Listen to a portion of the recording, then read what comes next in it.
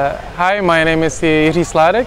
I'm uh, from Métaphore, small brewing project located in Czech Republic. Um, and I like to focus mostly on beers of spontaneous fermentation uh, because those beers uh, easily are much more easier defined by time and place. That's something really important to capture and uh, in the beers and capture this essence in the beer. What capacity, how much are you producing right now? Very, very, very little beer. Uh, last, uh, I would say it's several thousand bottles a year so far. So, and it's uh, so far I'm doing it everything alone with my two hands, and it's time consuming. Uh, uh, I would say uh, project. So it's slowly and organically growing. That's also important for me to grow organically and keep the quality and the vision. Where was your inspiration from? Obviously, we know the Lambics uh, and the Geuses of Belgium. Is the where was your inspiration from? Maybe, as you mentioned uh, at the beginning, it definitely it was Lambic beer, uh, uh Belgian beer culture, or like with the influence with some, let's say maybe American brewers doing similar styles. Uh, but and also like lately the, my biggest source of inspiration is like natural wine movement uh, uh, and also inspiration is coming from everywhere. So mostly uh, over time uh, it, the, the idea became cultivated with many different influences and it's it came to be that I want to make beers that are relevant to time and place honest products of an environment where I come from and they should have a good energy and should be joy to drink. And many times they are spontaneously fermented, uh, although I make some odd lagers to the mix because I'm very passionate about lager beers. Drinkability is a forgotten art, I would say, in beer. Uh, and uh, I want to make beers that are basically joy to drink and are honest products, not extreme. And uh, that's it, yeah. What's the appetite for spontaneously fermented beers in the Czech Republic? Ooh,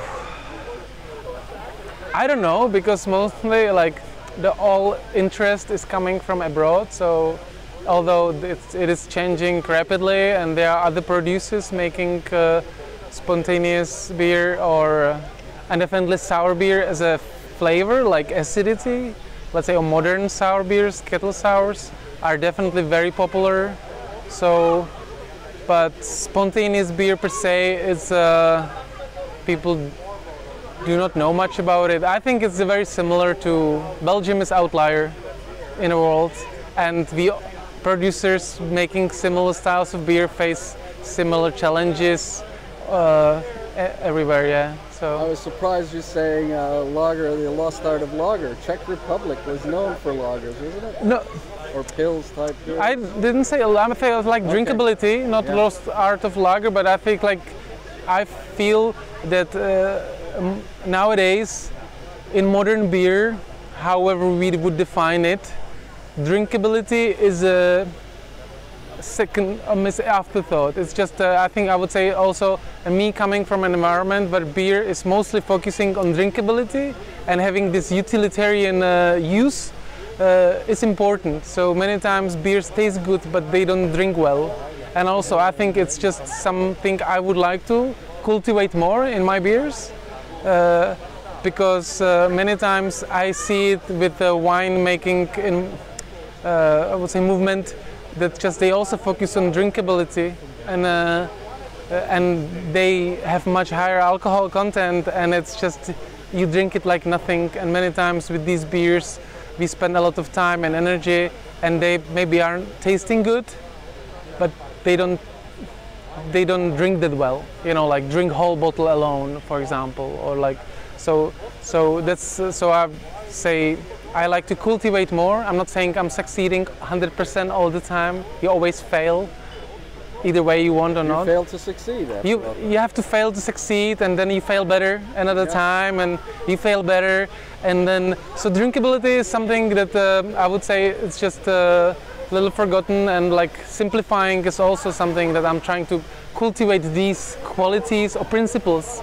I, th- I would say it's not even a technique; it's more a principle that what I would like to embody in the beers. So beers that speak that are local, relevant, speak of a time, place, uh, and uh, using various techniques or ingredients is local that uh, would get bit into the bottle and in, in the end of the day should feel good to drink because and little celebration of life you know it is a beer in the end so let's not complicate it too much. Excellent. And uh, what's your background how did you come to do this? it's funny. It's um, my background is completely different from beer. I studied Arabic uh, and Persian language and Middle Eastern studies at the university and uh, beer. And prior to beer, I had a specialty coffee background, so working in specialty coffee. It was long my passion, but as an avid homebrewer, it just this uh, the beer bug was growing on me too much. So and I gave up everything and focused 100% uh, on the beer. So because I eventually that's just my like news new newfound I would say passion. That's I also it's that I want to make something of it. You know, like and do something you want to do. Do something I want to do. Do. Uh, do sustainable business so I could provide for my family so it shouldn't be just art art art but feeling the the business aspect uh, should be sustainable and you know and um, like honest product so I could uh, put out something I like into the world and get rewarded and being able to provide for my family. What's next for, for you uh, growing your That's a good question because there's too, a lot of things I wanna perfect and improve upon but since now I struggle with not having enough beer but maybe now I know what to answer.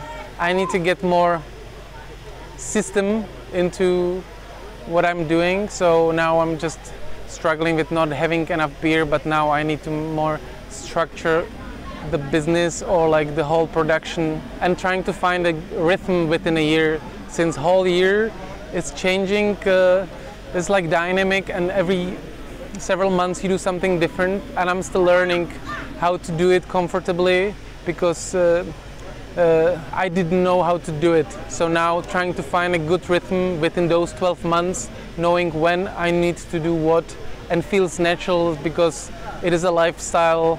Because I brewery, I would say, because uh, my life depends on it, and also and I want to cultivate something nice for my life, not to make it a burden, make it uh, actually pleasant. Stressful. It is many times actually very stressful. You know, when you actually when you want to deliver, I, I have so much respect for anybody who delivers something, whatever it is, product, service, but delivers because easy to promise but uh, very difficult to deliver. And uh, so putting product in the hand of a customer or whoever it's uh, there's a lot of challenges along the way so it's not always pretty and many times it's stressful so but uh, you learn as you go and uh, trying to find a kind of something that is natural, not fighting too much, you know, like find the right amount of the str struggle and balance. stress.